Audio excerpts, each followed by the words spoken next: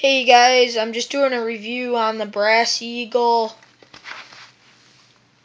um, adventure. I mean, this is basically it. Sweet.